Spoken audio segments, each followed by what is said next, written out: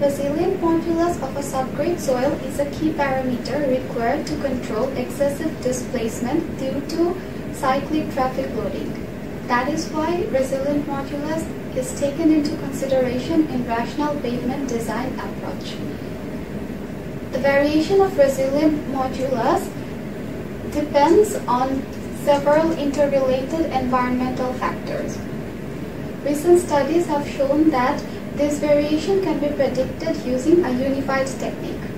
This technique uses soil-water characteristics curve to predict the variation of mechanical properties of soil with respect to suction using just one parameter. GDS triaxial testing system is conventionally used for the determination of resilient modulus of soil. This method is very effective but at the same time it is very time consuming and cumbersome.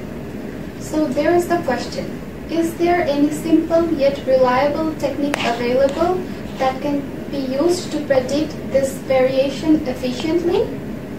The answer is yes, such an instrument exists but it is not widely used since the reliability of the instrument has not been validated yet.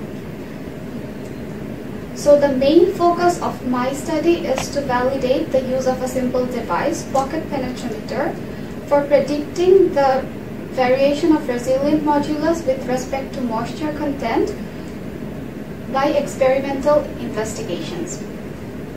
Pocket penetrometer is a lightweight instrument that is conventionally used for determining the unconfined compressive strength of cohesive soils within a range of 25 to 450 kilopascal. This figure here represents the variation of resilient modulus for an unsaturated soil with respect to moisture content and the resilient modulus has been estimated using GDS triaxial testing system. The figure here represents the pocket penetrometer readings with respect to moisture content for the same unsaturated soil. If both figures are compared, it is clear from the curves that both curves are following similar pattern.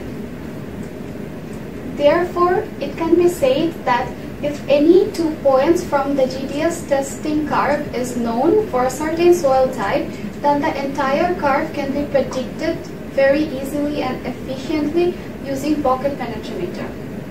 And the reliability of that device has also been validated by experimental investigations for different soil types. Thank you.